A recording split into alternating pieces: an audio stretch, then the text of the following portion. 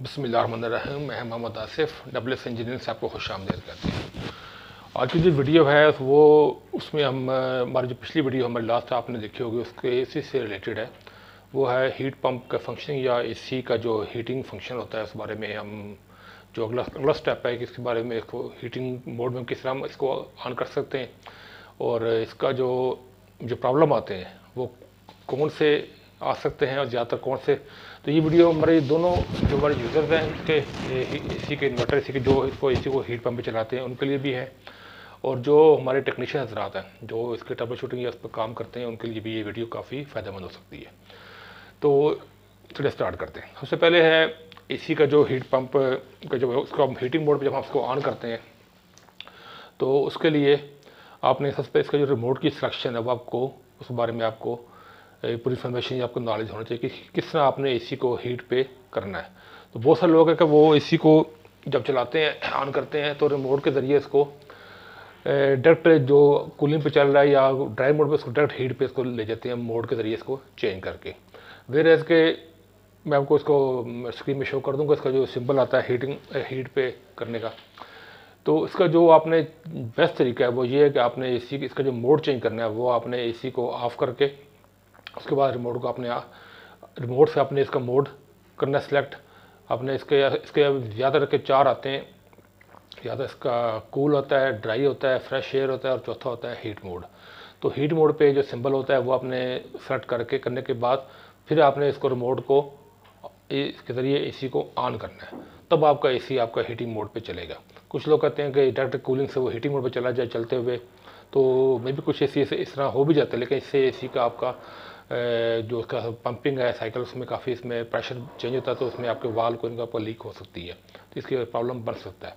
तो बेहतर ये कि एसी को पहले ऑफ़ करें। ऑफ़ करने के बाद इसको आपने मोड को आपने सेलेक्ट करना है हीटिंग मोड पे, फिर आपने इसको दोबारा एसी को ऑन करना है। तो वो आपका एसी का हीटिंग मोड पे आपका चलना स्टार्ट हो जाएगा। कुछ देर बाद आपको इसकी जो गर्म हवा आपको आना स्टार्ट हो जाती है। तो ये आपका, पहले आपका रिमोट यूजेज है, ठीक है? आपने इसको ऑफ़ करना है ऑफ़ करने के बाद इसको आपने ऑन दोबारा हीटिंग मोड चेंज करना है, फिर इसको आपने ऑन करना है। उसके बाद एक फ़िल्टर क्लीनिंग पहले मैंने पिछली वीडियो में बात ये क्लियर कर चुका हूँ कि जो प्रिवेंटिव मेंटेनेंस है, वो बहुत ज़रूरी होती है किसी भी कंपनी का। तो हमारे एसी की जो फ़र्स्ट लाइन मेंटेनेंस होती है प्रिवेंटिव मेंटेनेंस के, वो आपको होती है फ़िल्टर क्लीनिंग हर हफ़्ते बाद अपने फ़िल्टर आपने इसको साफ़ करने होते हैं, ताकि एसी आपका ठीक चलता रहे। अगर आप ये आप प्रैक्टिस करेंगे रेगुलरली तो आपके नाइन्टी परसेंट चांस है एसी आपका कभी कोई फॉल्ट नहीं आएगा। तो इस बारे में आपको अपना पर्सनल एक्सपीरियंस शेयर करके शेयर करूँगा यहाँ पे कि हमें कंप्लेंट आई थी कि एक एसी है, वो हीटिंग मोड पे नहीं चल रहा।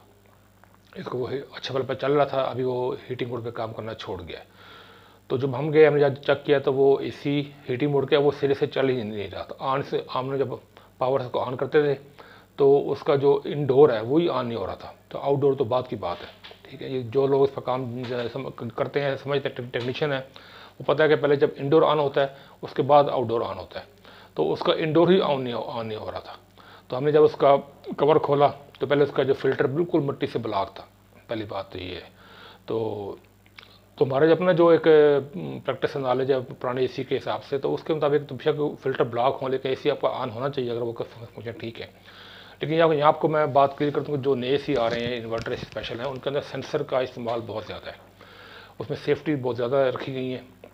तो वो जो मॉडल था, वो TCL का मॉडल था, उसके अंदर ये सेफ्टी थी कि जब जब बहुत ज़्यादा आपका ब्लॉक हो फ़िल्टर आपका ब्लॉक हो जाता है, ठीक है तो ऐसी आपका ऑन ही नहीं होता।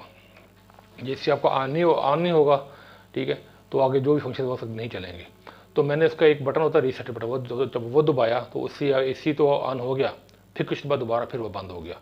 तो फिर मुझे समझ आया कि इसका जो फ़िल्टर जब तक साफ़ नहीं होगा, ये ए आगे नहीं चलेगा। तो वो हमने जब उसका फ़िल्टर साफ़ किया, दोबारा उसको ड्राई करके उसको लगाया तो इसी बेहतरीन काम कर रहा था, वो हीटिंग मोड पे भी और कूलिंग मोड पे दोनों पे। तो ये एक ही आपको एक है कि जो जिन ए के अंदर हीटिंग मोड है, आजकल जो नए ए सी आ रहे हैं, उनके सब सेफ्टी फीचर बहुत ज़्यादा हैं। तो आपने ये जो प्रिवेंटिव मेंटेनेंस है फ़िल्टर क्लीनिंग है कनेक्शन आपके कोई लूज़ रह जाए, तब भी ए आपका ऑन नहीं होता। तो ये चीज़ आपके ध्यान में होनी चाहिए। उसके बाद नेक्स्ट पॉइंट होता है एक और हमारे एक्सपीरियंस हमें आया था कि उसके अंदर जो फॉल्ट आया था कि वो हीटिंग एसी चल रहा है कूलिंग मोड पे ठीक काम कर लेकिन हीटिंग मोड पे काम नहीं कर रहा। ठीक है? तो उसमें हमने जब उसको ट्रेस किया सारा हमने उसको चेक किया, ठीक है? तो वो उसके जो सिग्नल वायर थी, जो एस वायर होती है, जो एक पॉइंट होता है इंडोर के अंदर ऐसा वही पॉइंट आउटडोर के अंदर भी होता है। जो सिग्नल वायर आउटडोर के अंदर थी, वो कनेक्शन लूज था। उस लूज कनेक्शन की वजह से जो फोर वे वाल होता है, जो हीटिंग का काम कर, जो पिछली वीडियो में बताया, जो हीटिंग हीटिंग का काम करता है हीटिंग का साइकिल चेंज करता है, उस वाल को सप्लाई नहीं जा रही थी। जब उस वाल को सप्लाई नहीं जा रही थी तो वो कूलिंग मोड पे ही चल रहा था। जब हीटिंग मोड पे रिमोट से करते थे तो सिग्नल वायर के ज़रिए सिग्नल जाता है, उस ये फोर वे वाल्व के मैग्नेटिक स्विच को तो वो उसको सप्लाई नहीं जा रही थी। तो हमने जब चेक किया तो आउटर आउटडोर यूनिट के ऊपर जो एस पॉइंट है, वो लूज़ था। इसी वजह से लूज़ हो रह गया होगा, या लूज़ हो गया होगा वाइब्रेशन होती है आउटडोर की तो वो पॉइंट लूज़ हो हो चुका था, जिस वजह से उसके स्पार्किंग हो रही थी, जब उसको हीट पे करते थे। हमने उसको खोला दोबारा से, साफ़ कर दोबारा टाइट करके लगाया तो वो हमारा ठीक हो गया, हमारा हीटिंग मोड पे एसी हमारा काम करना शुरू हो गया। ये वो दो चीज़ें हैं कि जो हमारे अपने एक्सपीरियंस में आई। एक फ़िल्टर का इशू था, दूसरा हमारा जो सिग्नल वायर का जो कनेक्शन है, उसका इशू उसकी पिक्चर मैं आपको डिस्प्ले कर दूँगा, वो आप देख लीजिएगा। नेक्स्ट जो प्रॉब्लम आते हैं, जो हमने हमारे सुनने में आते हैं, जो हमने लोगों को देखा है, वो आता है फोर वे वाल के अंदर।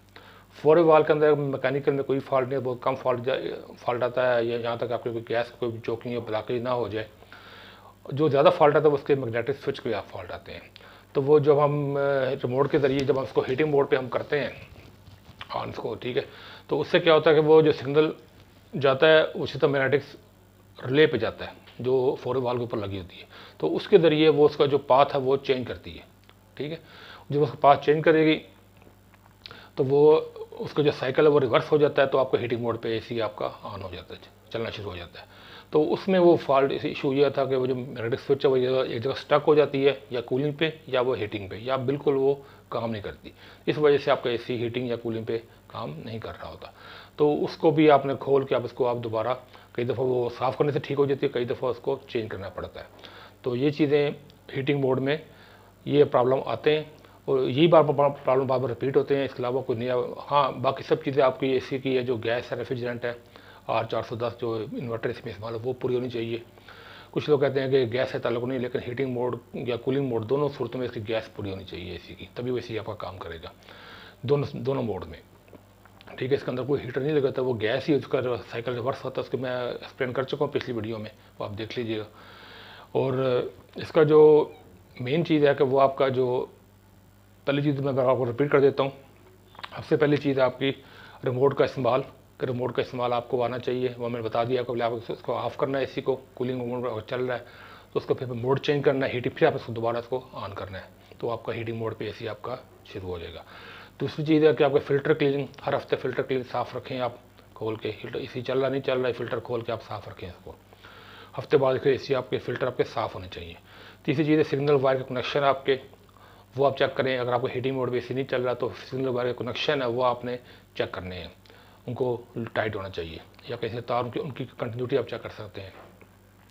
और चौथा पॉइंट आपके जो फोर वे वाल कोई मैग्नेटिक स्विच है, वो अपनी जगह पे ठीक काम करना चाहिए। तो ये थी आज की वीडियो अपना बहुत सारा ख्याल रखिएगा। अल्लाह हाफिज़।